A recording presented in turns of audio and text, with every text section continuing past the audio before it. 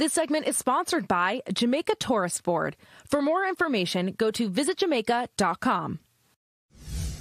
Well, springtime is here and summer will be here soon. So it's time to book a fun family vacation. And one of the hottest destinations is always beautiful Jamaica. So Jamaica's Director of Tourism, Donovan White, is coming to us from the One Love Island to give us all the highlights. So good to see you, Donovan.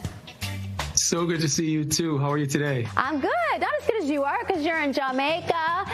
So after the winter, we are so ready for a big escape, and Jamaica is such a great place. Why should we consider Jamaica for our spring and summer getaway?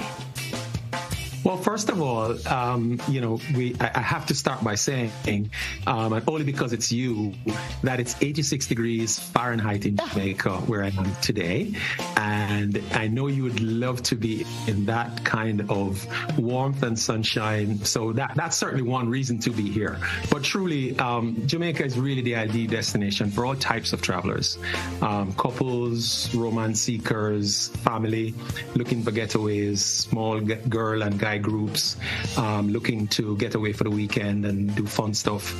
Um, our beaches, music, food, and vibrant nightlife has always been the backdrop to which um, those kinds of vacations and getaways and holidays can be experienced. And of course, um, you know, the our food, our people, um, and you know the the the, the natural uh, blessings that we've had with the flora and fauna of the mountains, the valleys, the rivers, are all part of what makes this destination not only so special, but a one of a kind destination. One of the things I like to think about is the musical influence and the reggae and just that overall vibe that you get on the island. Can you talk about that a little bit? Reggae is um, one of the foremost genres of music across the world. It's born in Jamaica, was made popular by the one and only Bob Marley, and we see what is um, what Paramount has done um, globally with with this icon yet again in terms of taking the music to the four corners of the earth.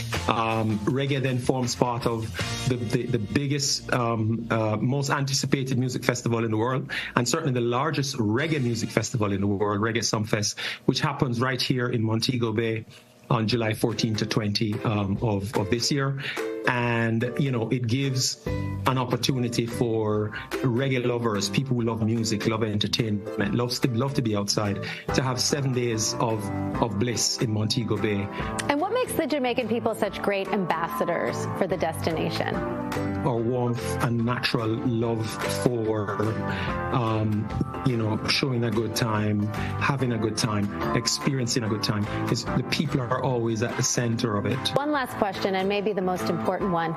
Next time we do this, can I fly down and we do this interview on the beach? I would absolutely love that. I would I would greet you at the airport myself so that I could personally tell you welcome home.